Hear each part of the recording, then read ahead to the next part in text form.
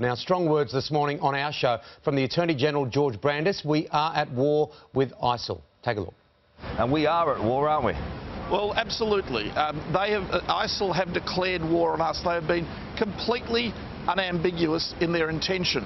They have been completely unambiguous in their purposes, and we would be fools not to take them at their word and to take whatever steps are necessary George Brandis this morning on the show. Now it's time for the mixed grill. Good morning to inspirational speaker John Coutts, broadcaster Mel Greig, and morning's host David Campbell. Morning all. Morning. Now let's start with you John. The rhetoric and the international reaction has cranked up. It really has. We probably expected it but it's really gone up. Well, it had to, didn't it? You know, bombing, shooting, stabbings, innocent people getting killed and really enough is enough.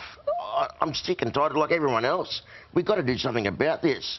Now, we're Australian and we love to be Australian and we're learning to stand up for ourselves as we have done over the last 200 years. And the rest of the world got to stand up too and we just got to, I guess, fight fire with fire. We've got to say, that's it, we're coming for you, we've got to get you.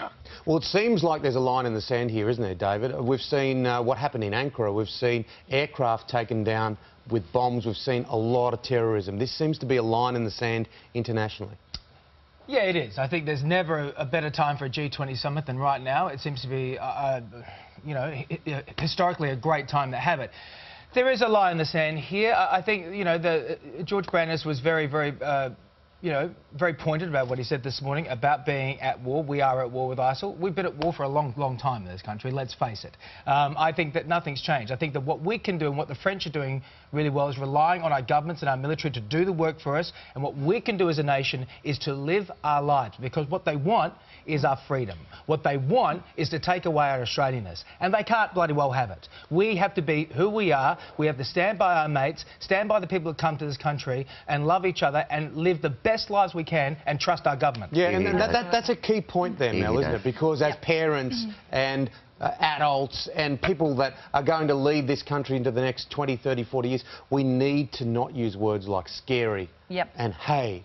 Absolutely. And this is about prevention now. We know it's going to happen, so what do we need to do? After the September 11 attacks, different measures were put in place for the planes to make sure there wasn't a repeat of it. What can we do now? It doesn't make sense that someone can walk down the street with a bomb strapped to them or a rifle in their bag and go undetected. We have the technology. Why aren't we using it on the streets? Is there a way of detecting when this is going to happen?